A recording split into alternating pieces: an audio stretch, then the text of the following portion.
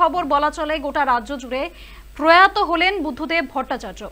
CPM জামানার দীর্ঘ চৌত্রিশ বছরের দ্বিতীয় মুখ্যমন্ত্রী তথা সিপিএম এর শেষ মুখ্যমন্ত্রী, যার জীবনাবসান হলো আজ। প্রয়াত মুখ্যমন্ত্রী, প্রাক্তন মুখ্যমন্ত্রী বুদ্ধদেব ভট্টাচার্য, রাজ্যের প্রাক্তন সিপিএম মুখ্যমন্ত্রী ছিলেন তিনি, আশি বছর বয়- বয়সে প্রয়াত হলেন।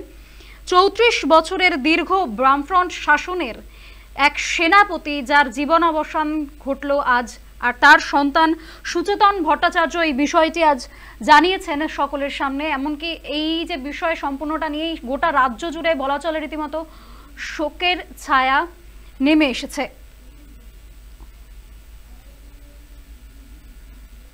এই মুহূর্তে আমাদের সঙ্গে টেলিফোনে রয়েছেন আমাদের প্রতিনিধি বিশ্বজিৎ। বিশ্বজিৎ, এই মুহূর্তে যে খবর পাওয়া যাচ্ছে যে প্রয়াত রাজ্যের প্রাক্তন মুখ্যমন্ত্রী বুদ্ধদেব ভট্টাচার্য ঠিক কি আপডেট রয়েছে এই খবরের?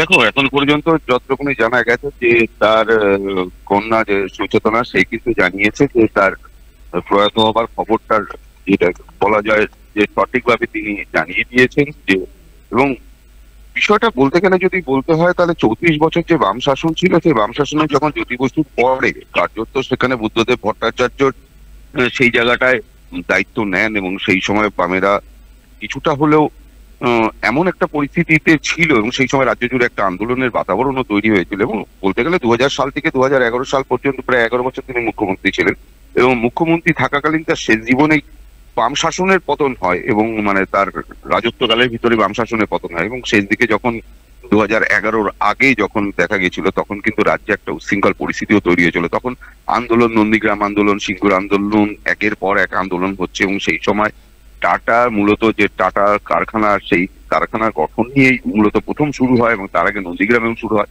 এবং এই যে আন্দোলনগুলো হয়, সেই সময় কিন্তু তিনি সঠিকভাবে তার রাশ টানার চেষ্টা করেছিলেন, কিন্তু কার্যত কিছুভাবে প্রশাসনিকভাবে গাফিলতিও ছিল। সেই প্রশাসনিক গাফিলতির কারণে তখন সরকারের পতন হয় এবং তার পরবর্তী ক্ষেত্রে দেখা যায় যে বুদ্ধদেব বাবুর বিরুদ্ধে সিবিআই এরও তদন্ত হয় এবং সিবিআই কিন্তু বুদ্ধদেব বাবুকে যেটা দিয়েছিলেন সেটা হলো সম্পূর্ণভাবে ক্লিন চিট তারা দিয়েছিলেন যে সেই গুলি চালানোর যে ঘটনা নিয়ে তদন্ত হয়েছিল, সেই ঘটনায় কিন্তু বুদ্ধদেব ভট্টাচার্যের কোনো হাত ছিল না, সেটা পরিষ্কারভাবে জানিয়ে দেওয়া হয়েছিল।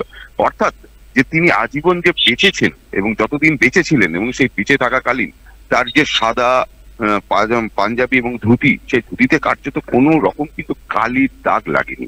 এবং তার পরবর্তী দু হাজার মানে এগারো সালে যখন ক্ষমতার পতন হয়, অর্থাৎ বাম শাসনের অবসান ঘটে এবং তারপরে কার্যত যখন তৃণমূল সরকার আসে, এবং তার আগেই কিন্তু তৃণমূল সরকারের তৃণমূল সুপ্রিমো যিনি, তিনি মমতা বন্দ্যোপাধ্যায়, তিনি বলেছিলেন, বামেদের যা কিচ্ছা কাহিনী, সব কিন্তু বার করা হবে। কিন্তু বুদ্ধদেব ভট্টাচার্যের বিরুদ্ধে কিন্তু আজ পর্যন্ত তার কোনো রকম প্রমাণ পাওয়া যায়নি, বা কোনো কিছু তৃণমূল সরকার আসার পরেও কিন্তু তারা কোনো রকম প্রমাণ বার করতে পারেনি। ফলত বলা যেতে পারে যে, বুদ্ধদেব ভট্টাচার্যের কার্যত নিষ্কলঙ্ক ভাবেই তিনি এগারোটা বছর তিনি পশ্চিমবঙ্গে রাজত্ব করেছেন।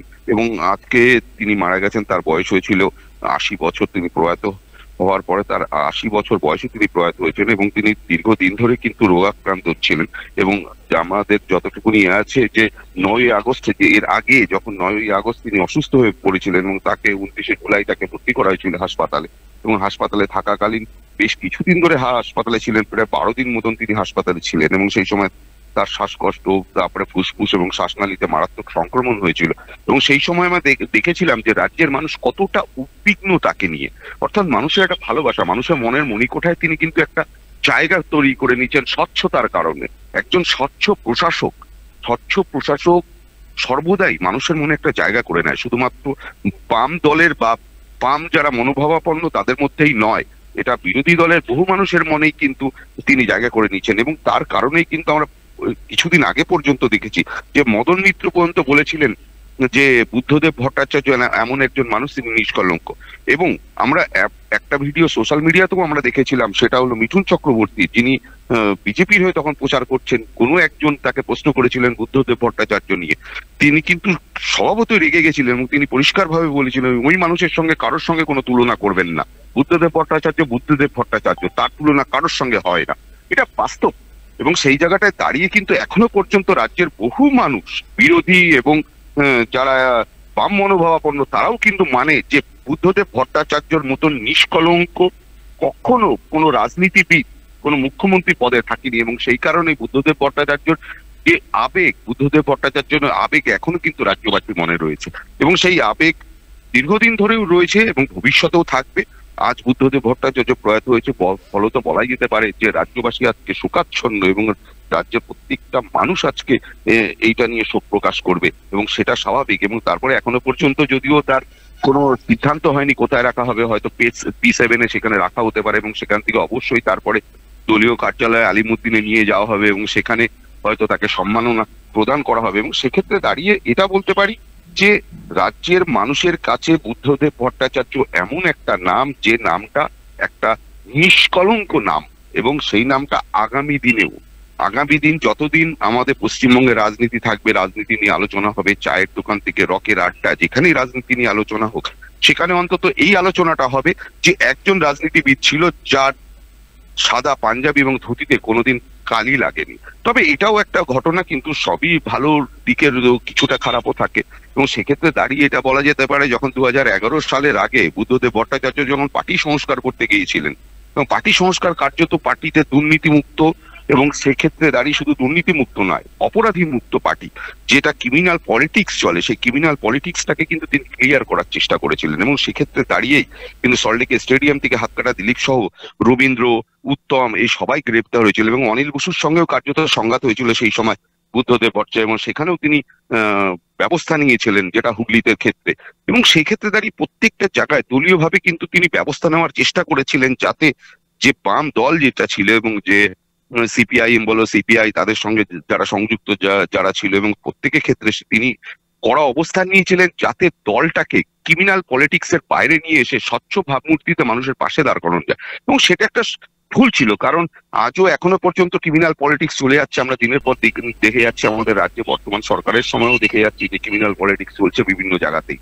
এবং তার অভিযোগও বারবার করে উঠে আসছে, এবং সেই অভিযোগ অতীতেও ছিল, বর্তমানেও আছে, কিন্তু এই একজনই মানুষ যিনি বুদ্ধদেব ভট্টাচার্য, যিনি মুখ্যমন্ত্রী থাকাকালীন তার দলকে তার দলকে ক্রিমিনাল পলিটিক্সের বাইরে আনার একটা প্রচেষ্টা করেছিলেন। এবং সেই প্রচেষ্টাটা একমাত্র পশ্চিমবঙ্গের ইতিহাসে বুদ্ধদেব ভট্টাচার্যই একমাত্র ব্যক্তি যিনি এই চেষ্টা করেছিলেন। এবং সেক্ষেত্রে দাঁড়িয়ে কিন্তু রাজ্যবাসীর কাছে তার আলাদা একটা জায়গা আছে, তার আলাদা একটা গ্রহণযোগ্যতা ছিল। এখনও পর্যন্ত বুদ্ধদেব ভট্টাচার্য মানে একটা আবেগ। রাজ্যের যারা শুধু বাম মনোভাবাপন্ন নয় সঙ্গে বহু মানুষ তাদের কাছে কিন্তু বুদ্ধদেব ভট্টাচার্য ছিল একটা আবেগ। সেই আবেগের আজকে পরিসমাপ্তি ঘটলো। কিন্তু এই আবেগ থাকবে, এই আবেগ আগামী দিনেও থাকবে, বহু যুবকদের কাছেও থাকবে, বহু যুব মানুষের সম্প্রদায়ের কাছে থাকবে। কারণ এখনও প্রচুর যুব সম্প্রদায় যারা যে স্কুল থেকে কলেজ থেকে যারা পাশ করে বেরোচ্ছে, তাদের কাছে কিন্তু বুদ্ধদেব ভট্টাচার্য আজ একটা আবেগ। এবং সেই আবেগেই হয়তো আজকে দেখা যাবে জনবিস্ফোরণ হতে পারে। কলকাতার রাজপথে এবং সেক্ষেত্রে দাঁড়িয়ে এই সবে বুদ্ধদেব ভট্টাচার্য প্রয়াত হওয়ার খবর বেরিয়েছে এবং সেক্ষেত্রে প্রত্যেকটা মানুষ এখন সোশ্যাল মিডিয়াতে দেখা যাবে একের পর এক রিয়াকশন শোকস্তব্ধ ছবি, প্রচুর কিছু দেখা যাবে এবং সে তারই জনবিস্ফোরণ হয়তো কলকাতার রাজপথে থাকবে এবং সেক্ষেত্রে রাজ্যের মুখ্যমন্ত্রী মাননীয় মমতা বন্দ্যোপাধ্যায় তিনিও হয়তো যাবেন এবং রাজ্যে যারা বিরোধী দল, তারাও হয়তো যাবেন এবং বহু মানুষ সেখানে সম্মান জানাতে যাবে। এটাই স্বাভাবিক। একজন যে রাষ্ট্র, এক রাজ্যের যিনি শাসক ছিলেন দীর্ঘদিন এগারো বছর এবং তার যে নিষ্কলঙ্ক চরিত্র এবং তার যে উন্নত চিন্তাধারা, সাংস্কৃতিক চিন্তাধারা, কারণ বুদ্ধদেব ভট্টাচার্য সাংস্কৃতিক মানুষ ছিলেন এবং সাংস্কৃতিক জগতে প্রচুর তার অবদানও রয়েছে, তার একাধিক বই রয়েছে এবং তিনি সবসময় নাটক থেকে আরম্ভ করে সিনেমা সমস্ত কিছুতে তিনি উৎসাহ প্রদান করে গিয়েছেন সর্বদা, যাতে প্রত্যেকটা জায়গায় যে কৃষ্টি, সংস্কৃতি, পশ্চিমবঙ্গের যে আদর্শ, সেই সমস্ত কিছু যেন বেঁচে থাকে, জীবিত থাকে। এই সেই জীবিত রাখার যে প্রয়াস করেছিলেন, এটাকেই কুর্নিশ জানায় আজও পর্যন্ত মানুষ। এবং সেক্ষেত্রে দাঁড়িয়ে এখনও পর্যন্ত যদিও শিডিউল হয়নি যে কি হবে, কোথায় নিয়ে যাওয়া হবে, শুধু সেই শিডিউলটা হয়ে গেলেই দেখা যাবে হয়তো কলকাতার রাজপথে জনবিস্ফোরণ। একদম, অনেক ধন্যবাদ বিশ্বজিৎ। একদমই ঠিক এই কথাটা যে বুদ্ধদেব ভট্টাচার্য রাজ্যের মানুষের কাছে একজন আবেগ, আইকন বলা চলে, যাকে এমন কোনো মানুষ নেই, যারা হয়তো দল নির্বিশেষে তাকে বিচার করেন বা সিপিএম বলে তাকে ঘৃণা করেন, এরকম বর্তমান রাজ্যে একেবারেই লক্ষণীয় নয়। দীর্ঘ চৌত্রিশ বছরের বামফ্রন্ট শাসনের দ্বিতীয় এবং শেষ মুখ্যমন্ত্রী যাকে বলা চলে, তিনি একজন সিপিএম এর পিলার। তার থেকেও বলা বাহুল্য যে রাজনীতির একজন বড় পিলার তিনি। তার জীবনাবসান আশি বছর বয়সে। দু হাজার থেকে দু হাজার এগারো টানা এগারো বছর তার রাজত্ব চলেছে। আর এই মুহূর্তে যে খবর, সেটা সুচেতন ভট্টাচার্য জানিয়েছেন। রাজ্যে সেই শোকের ছায়া আমরা দেখতে পাচ্ছি চারিদিকে।